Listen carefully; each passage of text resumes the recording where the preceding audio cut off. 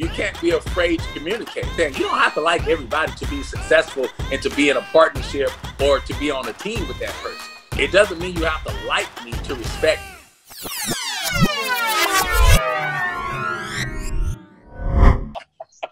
That's it, man. Yeah, I, want to ask you because you know you get to the you get to the pros, right?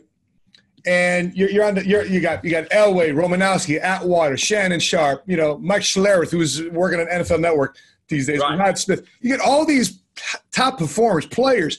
You know, you get, you get drafted to to to, the, to Detroit. You know, and you get all these players are, are the best of the best, physically gifted. They got drafted. Boom. How, how, did you go about dealing with egos? How did you how did you how did you manage uh, egos to to say, hey guys, let's win a championship? Right. Well, see, here's the thing: it, is it's not necessarily about managing egos.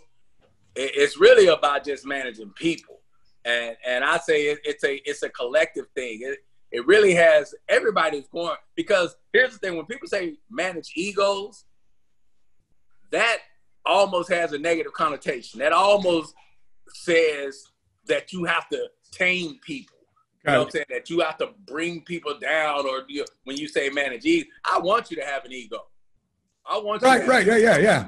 Because yeah. I need that. I I need you next to me, cocky and confident yeah. And, and ready to do Heck your yeah. thing. Mm-hmm. But but what I but I, what I need is is respect within that. You know, respect within that. There's a time and a place for all of our egos to exist. We just have to understand when that time is. Yeah. You know, we we can't you can't just display all that testosterone and all that ego for no reason. You know, so for us, it was about managing people and coexisting. Yeah. Understand, and the only way you get to manage people is to communicate. It's to get to know. You can't be afraid to get to know a person. Like for me, I I always and I was you know fortunate enough to be a captain in high school, college, and the pros on the Super Bowl teams. I was a captain. So for me, I would always take my guys out, and and, yep. and I want to see what what makes you tick.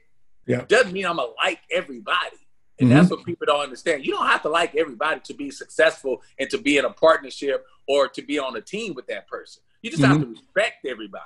Yeah. I respected everybody that, that was on our team. I respected everybody that I talked to, I spoke with, and I, and, and I communicated. I was not, it's kind of like where we are now as a world Yeah. like where we are now as a world. Racism and all this stuff that we're talking about, that is really about people. It ain't it's not about black or white, it's about people in general. Mm-hmm. And and then the bottom line is you can't be afraid to communicate. You can't be afraid to have the tough conversations because it doesn't mean you have to like me to respect me. you know, um, like, and the way you get to like someone, the way you get to respect somebody is to is to communicate with them. So that's that's what we did with with our egos, with with who we were, with our black, white, with our being straight or gay, because there were gay people in the league at that time. You know, yeah, there were white people, there were blacks, there were Mexicans, there were there, there were uh, Nico Nogas and all those guys from Hawaii. You know, we had you know, there was a plethora of, of guys with different backgrounds and different religions and all of that stuff. So you just respected it. You know what I'm saying? I remember my one of my best friends to this day is Darrien Gordon. Uh, he changed his name to Jamal, but you know he, he was you know his religion was different. You know he was a Muslim. Got so, it. Got it. Okay. Yeah. So it was one of those things where I respected him though. You know what I'm saying? When he was in his locker playing to with the Holy Quran or whatever, I respected that. And, and I didn't make fun of it or I didn't, you know, but we communicated about it. Yeah. Which was so cool was that because to me, I feel there's nothing gained from communication but knowledge. It's just really no there's really no loss there. There's really nothing you unless you go into it with a different mindset. You know, in order to, to get along with people and in, in order to relate to people, you have to first and foremost, I always keep going back to you. Yeah. you have to open your own mindset. You know, was there was there a certain expectation? For example, you line up on your guys. Was there a certain expectation you had of each other? Was the expectation to be at the meetings on time, to be in the workout rooms, and make sure they're diet? Did you have some minimum expectation that you expected amongst each other? And if if they didn't meet those expectations, how did you call them out? Yeah, and that's the whole thing is that we had to make sure we had expectations of, across the board. Yeah. You know, there were no expectations for anyone that that wasn't for anyone else. You know what I'm saying? Now, don't get me wrong. People got treated differently. John Elway, even I'll be honest, even myself, John Elway, Steve Atwater, Shannon Sharpe, Terrell Davis, myself. Oh, there were some things we got to do that some of the other players didn't get to do. well, you, know, you, guys are going above and beyond. That's it. Yeah, but you're you're, you're, you're, you you're flag carrying for your team. Yeah, you have to understand the guys they depended on the most got you know relaxed you know treatment, but even us, whoever we were, there were expectations. We were going to be on time. Now that kind of stuff was stuff that you don't tolerate. There has to be a, a there has to be a guideline that everyone falls into. Okay. Everyone. And then you play your way into better situations. You know what I'm saying? Yeah. better treatment. You play your way into days off. Like for me and John Elway and Shannon, training camp. I only had to practice like we had two of days. I only practiced once a day. but I played my way into that. Sure, it's, it wasn't You know- for your first year. Yeah, exactly. That wasn't something that grant that granted to me when I first got to Denver. I took three of days in Denver when I first got there. But by my second, third year, and they knew they could trust that I was going to be on time. They knew they could trust that I could go to Dallas because I didn't even I didn't work out in Denver. I came home every offseason. I came to Dallas, but Shanahan didn't allow that my first year. Yeah, He made me I had to stay in Denver. Yeah. But once he saw my work ethic, he said, "You know what, Ray, go home, go to Dallas because I know for 14 years straight, when I showed up at camp, training camp, shape. I was 185 pounds. I was 7.2, 7.3% body fat. 14 years straight. That's what I was. You know what I'm saying? Book it.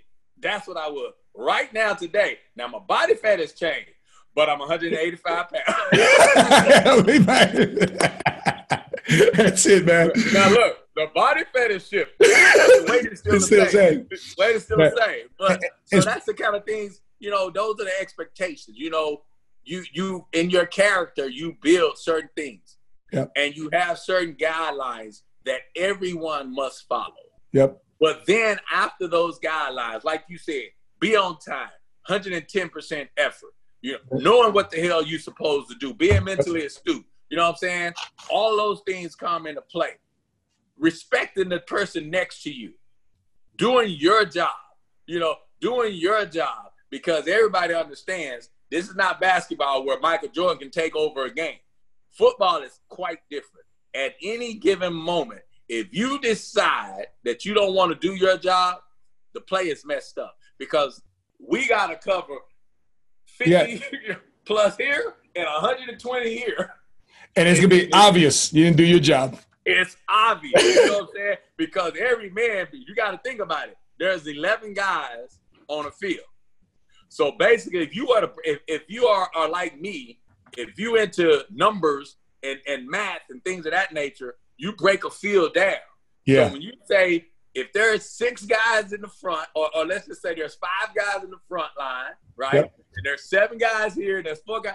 You got 15 feet wide and this distance to cover. You got, and if you're not there, it's open. It's Boom. obvious you're not Quarterback sees that now opening. it's obvious that you're not. So that's why it comes, you know, into do. That's why the Patriots had this big "do your job" because it's going to be obvious in if that you did. Yep. It's different in business sometimes. Yep. You know, that guy who was supposed to fax those things, sometimes he can get away with not doing it because Yeah. football is different. Gotcha. You can't get away with not doing your job. Sure. It's got to be done. If you're offensive tackle and, and you're not blocking, the world's gonna know. No, yeah. Because the quarterback is getting hit. Your quarterback will have some choice words for you.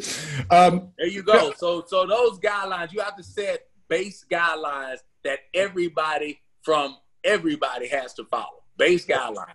And then you work your way into everything else, good or bad. Because you can work your look, you can work your way into something bad. If you're not doing your job, not doing enough work, you got to be at the stadium more. You got to be in the film room more. You got to be on the field more. You know what I'm saying? So you can work your way into good or bad situations.